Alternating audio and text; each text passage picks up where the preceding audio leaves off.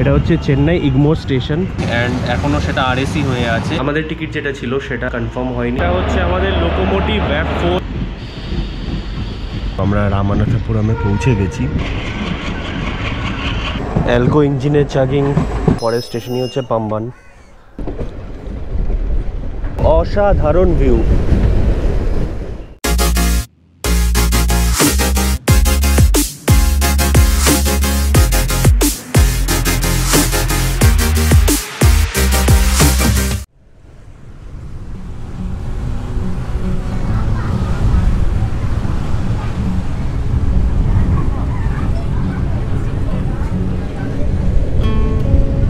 এই যে এখানে নতুন ব্রিজের একটা কনস্ট্রাকশন চলছে। এই ব্রিজটা যেহেতু অনেক পুরনো মিটার গেজ মানে এটা ব্রিটিশ টাইম থেকে ব্রিজটা আছে। মিটার গেজ প্রথমে চলতো, তারপর ব্রড গেজে কনভার্ট হয়েছে। তো এই ব্রিজ ব্রিজটা হয়তো থাকবে, তার সাথে আর একটা ব্রিজও ওরা তৈরি করছে। যেটার কনস্ট্রাকশন চলছে এখন। আমি ব্লগের এই পুরো পোর্শনটাকে আনএডিটেড রাখব, যেখানে আমি ফাম্বেল করব, সেটা অ্যাকুরেট যেরকম আছে সেরকমই থাকবে। কারণ আমি এখানে কোনো কিছু কাট করতে চাইছি না। হয়তো কিছু ভুল যদি বলে থাকি, সেটার জন্য I am so sorry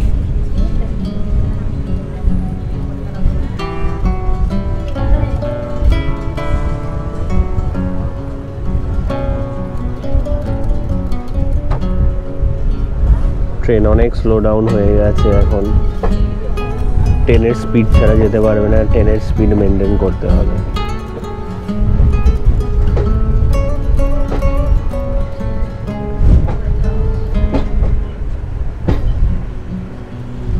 যেটা বললাম, নতুন ব্রিজের কনস্ট্রাকশন চলছে, এই ব্রিজটা হচ্ছে। আই থিঙ্ক প্যারালালি দুখানা ই হবে আপ ডাউন দুটো লাইনই হবে। তো এখন একটা লাইন ওরা বসাচ্ছে দেন ইন ফিউচার কারণ প্রভিশন আছে সেকেন্ড লাইন হওয়ার।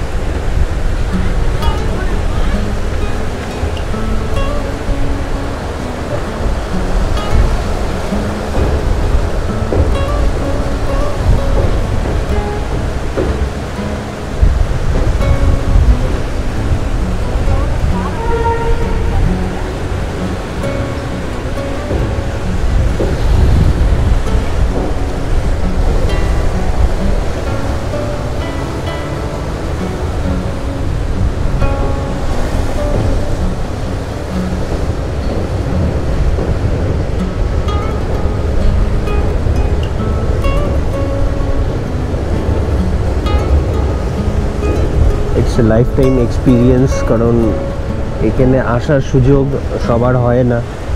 তো আমি নিজেকে লাকি মনে করি।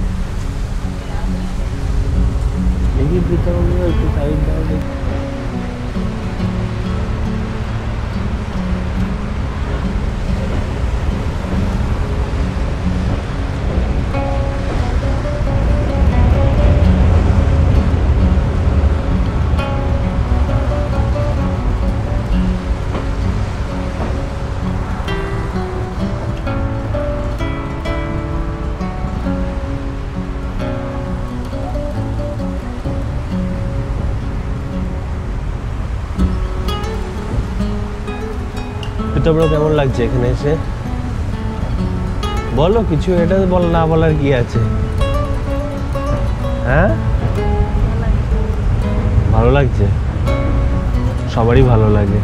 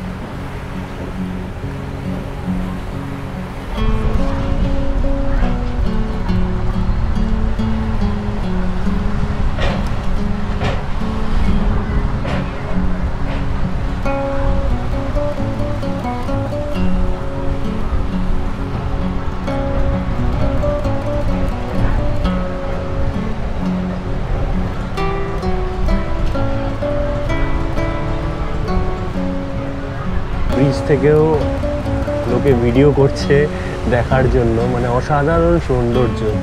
মানে এখানে লোকালরাও নিজেরা নিজেদের ভিডিও করে। দাঁড়িয়ে আছে মানে বাস দাঁড়িয়ে পর্যন্ত লোক নেমে ভিডিও করছে। সামনে সব বাসগুলো দাঁড়িয়ে আছে।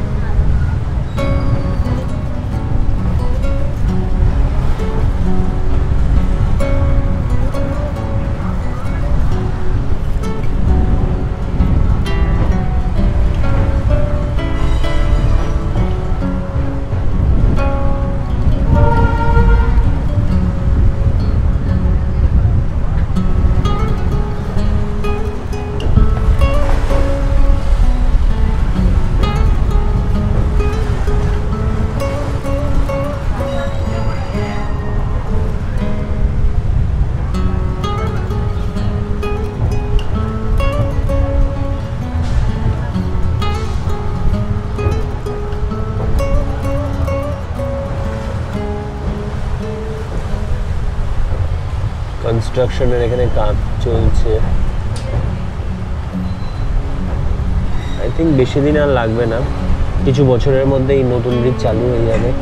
এবং আর একটা নতুন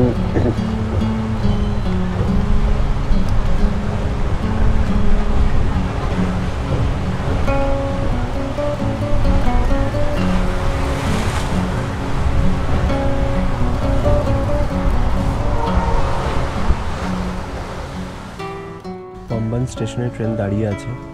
এই হচ্ছে বম্বান ব্রিজ পেছনে। ফ্লাইওভারটা যেটা যাচ্ছে, আমি জানি না ক্যামেরা দেখাতে পারছে কি না ফ্লাইওভারটা যেটা যাচ্ছে, সেটাই হচ্ছে পাম্বান ব্রিজের ফ্লাইওভার।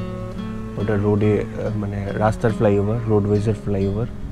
পাশ দিয়ে হচ্ছে রেলওয়েজের ব্রিজটা গেছে। পাম্বান স্টেশন থেকে ট্রেনটা ছাড়বে।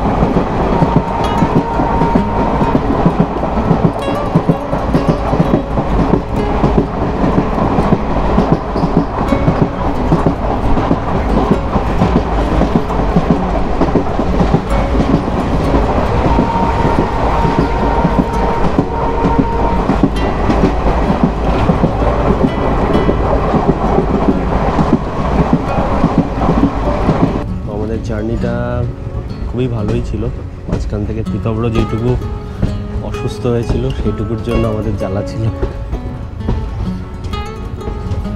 জ্বালা না টেনশনে ফেলে দিয়েছিল ভীষণ টেনশন যাই হোক সেটাকে ওভারকাম করে এখন যাচ্ছি।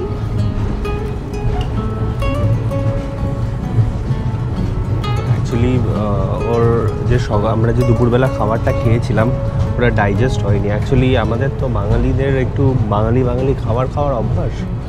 একটু টক টক পড়ে গেলে পরই হয়ে যায়। বাচ্চা, বিশেষ করে বাচ্চাদের, একটু অসুবিধা হয়ে যায়। সেটাই ওর হয়েছিল। আই থিঙ্ক এখানে এসে ও তো ঠিকই থাকবে। কারণ এখানের যা ওয়েদার দেখতে পাচ্ছি, দারুণ প্লেজেন্ট ওয়েদার দারুণ ভালো লাগছে। মানে বুঝতেই পারছি না, আমার মানে এক্সাইটমেন্ট একটা আলাদা লেভেলেই আছে। দেখা যাক কত কিছু দেখাতে পারি এবং কতখানি নিজেরা এনজয় করতে পারি সেটা সামনের দিনগুলো বলবে। আশা করছি খুব ভালোভাবে এনজয় করব, ঘুরবো, দেখাবো, আর বিভিন্ন জায়গায় যাব, সেটাও আমার ডিসিশন নিয়ে রেখেছি। ফাইনালি আমরা রামেশ্বরম স্টেশনে নেমে গেছি। এই হচ্ছে রামেশ্বরম স্টেশন আর এখন আমরা হোটেলের দিকে যাব। হোটেলে চেক ইন হচ্ছে বারোটা। এখন বাজে হচ্ছে সাড়ে আটটা। তো এইট থার্টিতে পৌঁছেছি এখনও অনেকটা টাইম আছে হাতে বারোটা, কারণ বারোটার আগে চেক ইন দেওয়া মানে দেবে না, কারণ আমি হোটেলে ফোন করেছিলাম। হোটেল বলল যে ওদের রুম খালি নেই। এই জন্য আমি চেক ইন করতে পারব না। তো তাই জন্য ভাবলাম যে এখানেই ক্লক রুম আছে, এই যে সামনে ক্লক রুম আছে। এখানে লাগেজটা রেখে একটু ফ্রেশন আপ হয়ে তারপর আমরা এখান থেকে বেরিয়ে যাব হোটেলের দিকে। দেন দেখি তারপর আজকের দিনটা আরও কীভাবে ইউটিলাইজ করতে পারি। তো আমি এই ব্লগটা এখানেই শেষ করছি।